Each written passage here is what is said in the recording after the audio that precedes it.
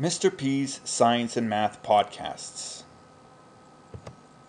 For more science and math concepts, search me out on iTunes by typing Papa Podcasts. You can contact me at papapodcasts at gmail.com.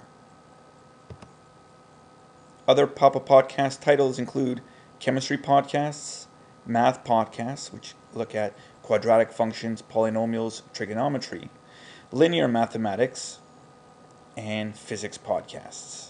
Thank you for watching. Slope, as we said, is equal to rise over run. Slopes of lines will be drawn in one of these four ways. Slopes can be positive, and, and we think about in the English language when we read, we read from left to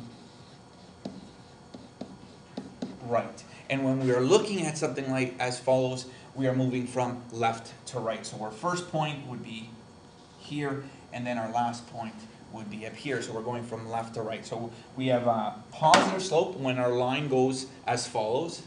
When a slope goes in a downward position, again, when we are moving from left to right, we have a negative slope. If we have a straight horizontal line, our slope is equal to zero.